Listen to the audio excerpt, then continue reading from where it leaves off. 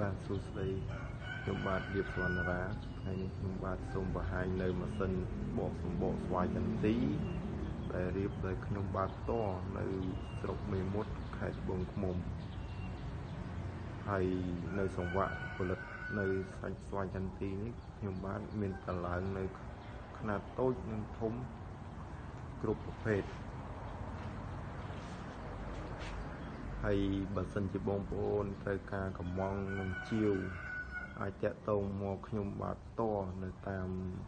រយៈលេខទូរស័ព្ទ0.6 53ដង83ដង1ហើយមួយខ្សែទៀតគឺ067 83ដង83ដង1បាទសូមអរគុណ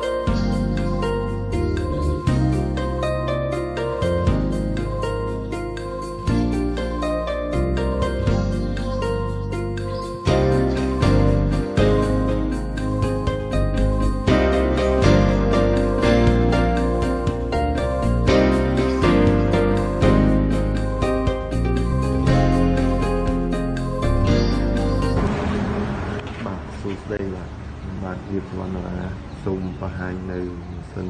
សម្រាប់បកសម្បកស្វាយចន្ទីຂະຫນាតតូចនិងຂະຫນាតធំសម្រាប់គ្រួសារនិងសហគ្រាសសិប្បកម្មដែលតឡើងនៅក្នុងបាទតនៅស្រុកមេមត់ខេត្តត្បូងឃ្មុំបាទសូមជើញទស្សនានេះ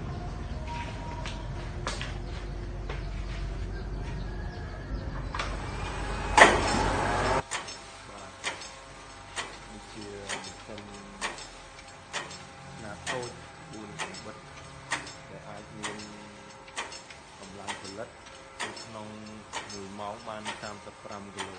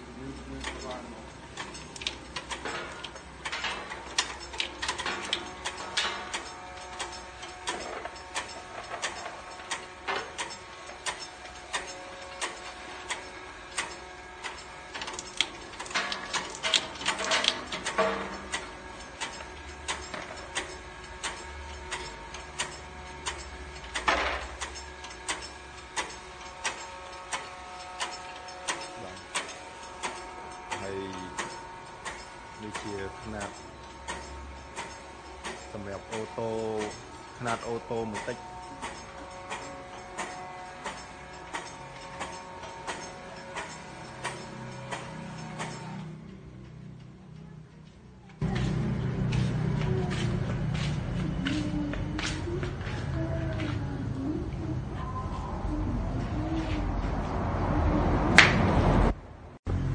បាទម៉ាស៊ីននេះដែរ វាជាຂະຫນាត4កម្រិត